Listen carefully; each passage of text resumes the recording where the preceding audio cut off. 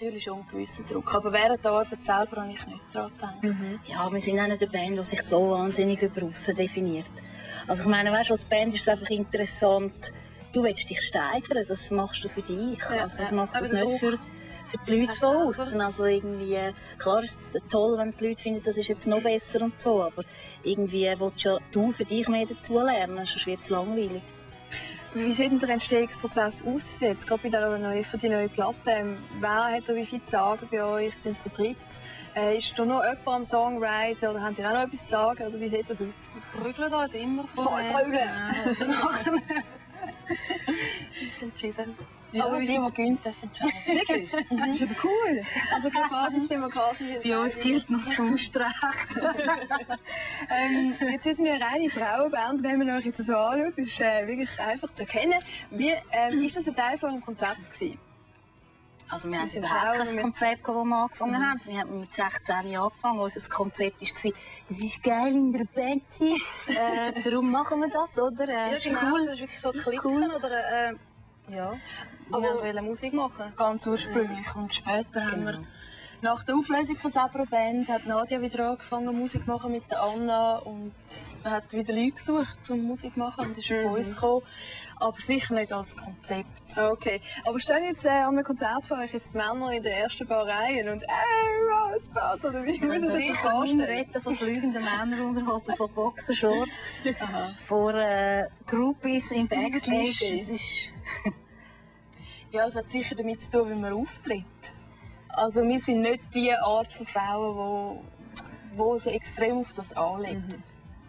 Okay. Also ich schon ein natürlich. Ja, das spielt mit der Rolle so. mit dem Röckchen. Also, Nein, das ist doch, wir sind doch nicht so eine Teenie-Band. Okay. Also Teenie-Band, schauen wir mal, wir spielen jetzt mit Clip, wo wir stöbern. Ähm, wir sind eigentlich alle im besten Alter zum Kinderkriegen. Und wenn ich dich anschaue, du bist schwanger, du kriegst ein Kind. Ähm, wie sieht das aus mit dem Projekt Rosebud jetzt gerade für dich? Also was bedeutet das für das Projekt Rosebud?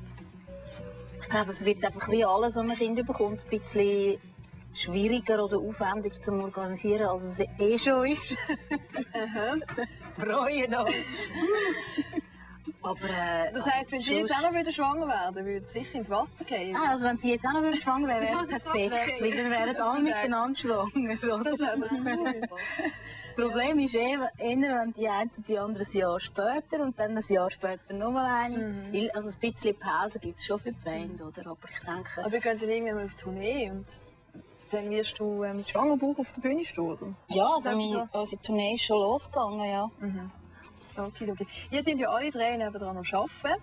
Was für eine Rolle nimmt oder bei Rosebud ein? Für mich eine sehr grosse Rolle. Also ich habe schon meinen 50%-Job, der ziemlich klar definiert ist, wann der stattfindet. Und die restliche Zeit, vor allem im Moment, brauche ich schon mhm. fast ausschließlich für Rosebud. Mhm. Was manchmal genau ist ich gebe Schule. Gebe Schule. Okay. Und ähm, in der Regel schaue ich, dass es sich nicht vermischt. Aber manchmal ist es nicht möglich. Mhm. Wie ist das bei den anderen? Claudia? Ja, also wir haben das eigentlich alle recht gut Zeit lang können organisieren, dass wir alle Montag bis Mittwoch arbeiten. Und alle 50 bis 60 Prozent, also das hat eigentlich ähm, optimal mhm. passt. Aber ist jetzt der Rosebud eher so ein Hobby, das nein, cool ist? Oder nein, es ist mehr schon für uns alle. Mehr investieren ja. auch. Und es ist auch es, ja, es ist, es ist nicht einfach, dass, dass eben irgendwo ein Teilzeitjob und Geld verdienen mhm. und Band. Und, aber ähm, es ist klar, Band hat eine sehr wichtige Rolle. Mhm. Was läuft als nächstes bei euch jetzt gerade? Als nächstes ist morgen unsere Plattentaufe im Abart in Zürich. Und dann geht es weiter mit unserer Tour. Also wir spielen in der ganzen Schweiz. Durch den Sommer einfach Bis Ende Juni. Mhm. Dann gibt es erstmal eine Pause bis im Herbst. Pause? Baby, Baby da ist und sich ein bisschen daran gewöhnt hat. Schrei und Rickelpause. und Songs werden sicher auch entstehen. Also es ist einfach sicher Pause. Wir, wir, wir äh, proben nicht wie die Wilden irgendwie mhm. und, gehen, und gehen nicht auf die Bühne in dieser Zeit. Hey, super. Ich wünsche euch alles Gute für die Zukunft. Danke. Gut austragen dann, ja. wenn es so weit ist. Und ähm, macht's gut. Tschüss. Tschüss. Tschüss. Ciao.